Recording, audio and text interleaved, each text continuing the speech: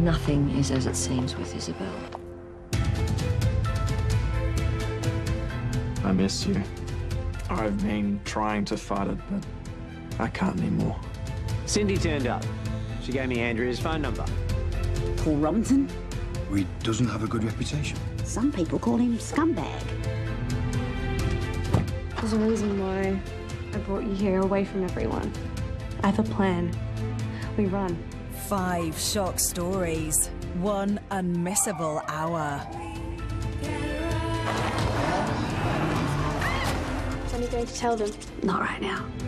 Run!